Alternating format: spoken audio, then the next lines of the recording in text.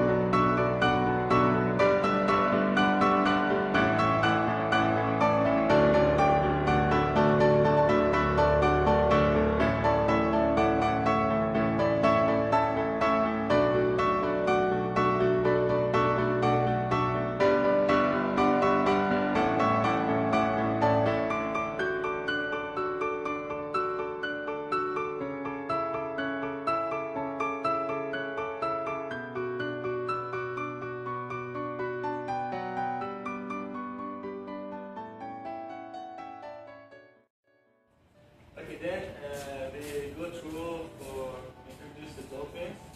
How do dolphins communicate uh, through sound, through signals, uh, which our uh, lecturer Dr. Mahfouza mentioned to us. Uh, the signal, the sound is a kind of signal that can carry information as data as well.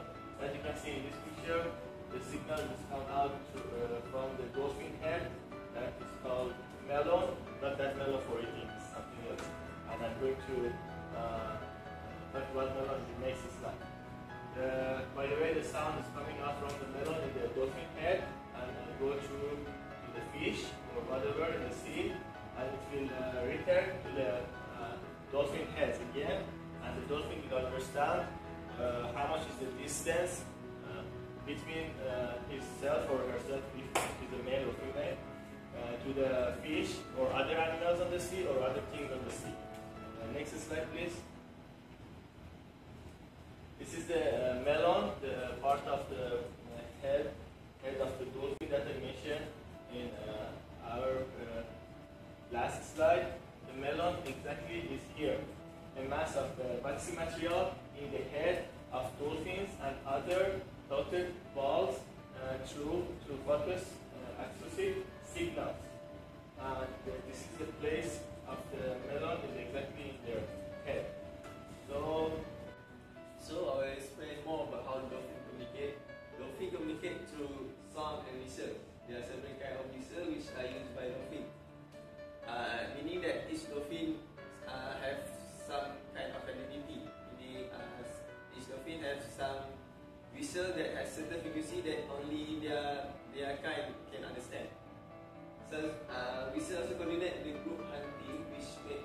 feeding much easier for dolphin doing it alone. Uh, dolphin also can produce a burst, uh, burst pulse sound. It's a kind of uh, repetition sound that also used for communication. Uh, but uh, sci- scientists still learn, still uh, uh, still make some research about this.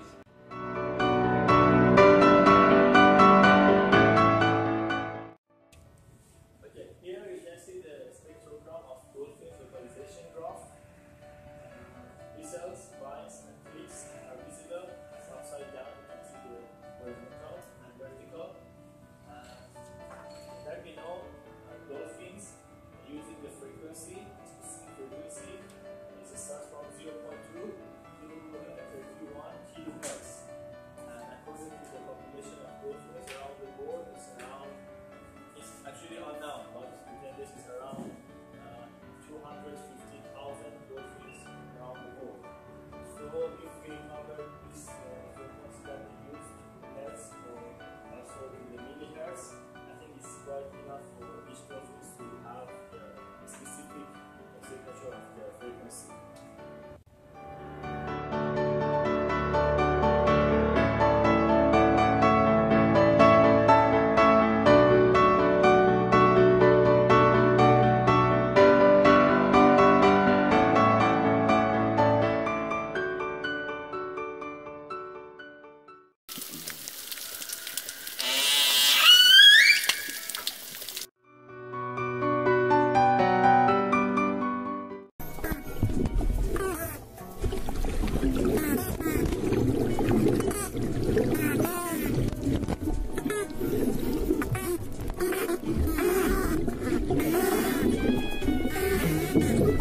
Okay,